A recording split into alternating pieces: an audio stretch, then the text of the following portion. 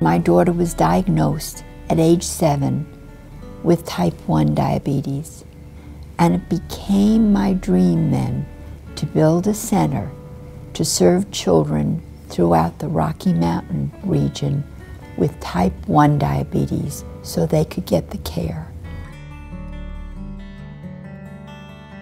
The Barbara Davis Center uh, is very much a part of the University of Colorado, and uh, we have a clinic division that cares for both adults and children.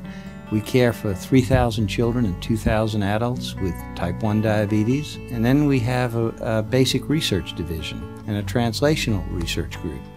And the uh, basic researchers and the physician scientists very much work together. The Barbara Davis Center has been part of the University of Colorado School of Medicine for more than 30 years now.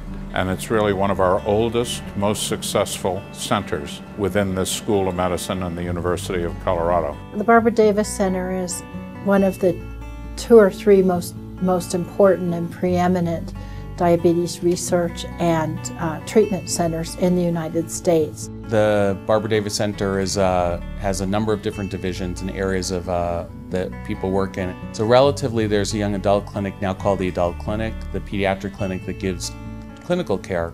Then we also have clinical research and basic bench research. And the area that I work in actually encompasses all. My research currently involves primarily continuous glucose monitoring and work leading to the closed loop bionic pancreas, in which a continuous glucose monitor will control insulin output from an insulin pump and uh, combined with a computer to do this will eventually result in a bionic pancreas that will make life a bit easier and safer for patients with diabetes. My role is uh, twofold to make sure that the kids and adults with type 1 diabetes in Colorado receive the best uh, clinical care. And uh, number two, carry out uh, research to find the causes and prevention of type 1 diabetes. What we're wanting to do is to take our knowledge into a treatment for type 1 diabetes. Now, this will take time, but uh, there have been recent advances uh, based on what we call antigen based therapy, immunotherapy.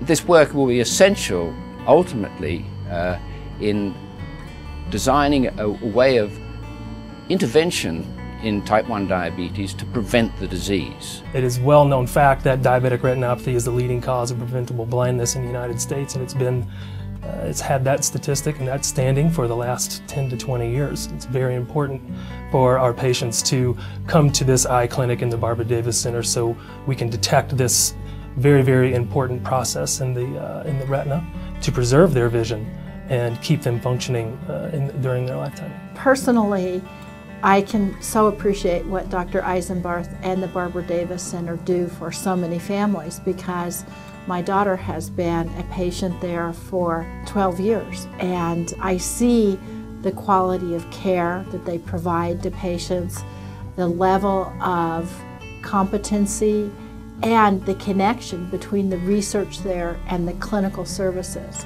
It really is a facility under Dr. Eisenbarth's leadership, par none in the United States. George Eisenbarth is really an incredible guy. He uh, is, I think, uh, if not uh, one of uh, the major reason why the Barbara Davis Center is what it is today. Dr. Eisenbarth is one of the top three or four researchers in the world in terms of uh, trying to find a cure for type 1 diabetes. To be able to work alongside him is just a privilege for all of us. When we find a cure, I know George Eisenbarth will be at the very forefront of that research. The Juvenile Diabetes Research Foundation uh, has been a tremendous supporter of the Barbara Davis Center. I am forever grateful to the JDRF for their ongoing support throughout the years. The JDRF is, is, a, is a, you know, very important uh, sponsor of our work and uh, in fact uh, I would say the majority of what we're doing at the moment is funded principally by the JDRF. If the Barbara Davis Center didn't have the JDRF, they couldn't do the level of work that they do. So it's a great collaborative effort.